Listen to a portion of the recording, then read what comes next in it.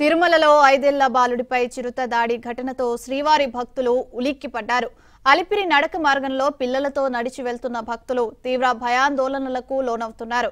ఘటన జరిగినప్పటికీ అధికారులు భక్తులను యథాతథంగా అనుమతిస్తున్నారు. ప్రత్యేకంగా ఎలాంటి చర్యల బోర్డులు పెట్టలేదు. మరి దీనిపై భక్తులు ఏమనుకుంటున్నారు? అలిపిరి నడక మార్గంలో పరిస్థితి ఎలా ఉంది? అన్న విషయాలపై మరింత సమాచారం మా ప్రతినిధి దినేష్ అందిస్తారు. నిన్న రాత్రి చిరుతపులి ఏడవ మైల్ వద్ద ఒక బాలుడిని తీసుకుని వెళ్ళిపోయింది. సుమారుగా రెండు వందల అడుగుల వరకు కూడా అది పొదల్లోకి తీసుకుపోయి ఆ తర్వాత వదిలిపెట్టిపోయింది.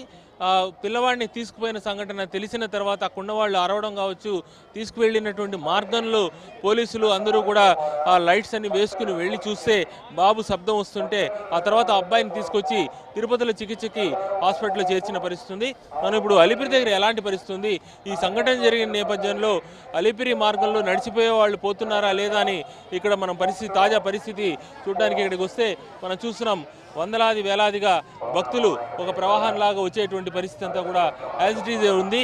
ముఖ్యంగా ఎంతమంది పిల్లలతో వస్తారని మనం అర్థం చేసుకోవాలంటే చూడొచ్చు. ప్రతి ఒక్కరూ తమతో పాటు చిన్నపిల్లల్ని తీసుకొచ్చినటువంటి పరిస్థితి.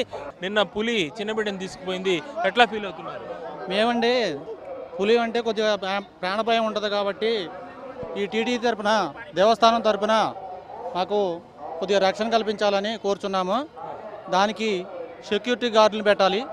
పోలీస్ శాఖ కానీ అడవి సిబ్బంది కానీ ఈ మెట్ల మార్గంలో నడిచేటప్పుడు బాడీ గార్డులు లెక్క జనం వెంబడి ఉంటే కొంచెం బెటర్గా ఉంటుందని కోరుచున్నాము. అందరికీ రక్షణ కావాలి కదండి. వాటికి కూడా వాటి స్థావరాల్లో వాటి వాటి వరకు వాటికి ఆహారం అందిస్తే ప్రజల మీదకి కూడా రావు. వాటిని సంరక్షించాలి. అదే విధంగా భక్తులకి కూడా ఎటువంటి హాని జరగకుండా కాపాడాలి. తల్లిదండ్రులు అందరూ ఒక చోట ఉన్నారు. బిడ్డ దూరంగా ఆడుకుంటూ ఉన్నాడు. ఆడుకుంటూ ఒంటరిగా ఉన్నటువంటి బిడ్డని చిరుతపులి నోట ఖర్చుకుని ఎత్తుకుని వెళ్ళిపోయిన పరిస్థితి ఉంది. కాబట్టి తప్పనిసరిగా ఇలా ఒంటరిగా బిడ్డల్ని వదిలిపెట్టి తిరుమల నడక మార్గంలో ఉంటే ప్రమాదకరమైన పరిస్థితి. ఎందుకంటే సుమారుగా చాలా చిరుతపులులు ఈ యొక్క శేషాచలం అడవుల్లో తిరుగుతూ ఉంది. టీటీడీ కూడా ఆ విషయాన్ని చెప్పాల్సిన అవసరం ఉంది. ఇక్కడ ప్రచారం చేయాలంటే అందరూ గుంపులు గుంపులుగా పొండని మాత్రం చెప్తున్నారు తప్ప చిరుతలు తిరుగుతూ ఉన్నాయి. బిడ్డల్ని కూడా పెట్టుకోండి అని స్పష్టంగా చెప్పడం అనేది ఎందుకంటే దేవుడున్నాడనే నమ్మకంతో నిన్న బిడ్డను కూడా కాపాడినాడనే నమ్మకంతో వెళ్ళేటువంటి వాళ్ళు ఆగడం లేదు వెళ్తున్నారు. అయితే జరగరానిది జరిగితే అప్పుడు చాలా బాధపడాల్సిన పరిస్థితి ఉంటుంది. అలా జరగకుండా ఉండేందుకు ఏ ఏ చర్యలు తీసుకోవాలో అన్నీ తీసుకోవడానికి భక్తులు కూడా సహకరించాల్సిన అవసరం ఉంది. వీడియోని సంజీవ్తో దినేష్ ఏబి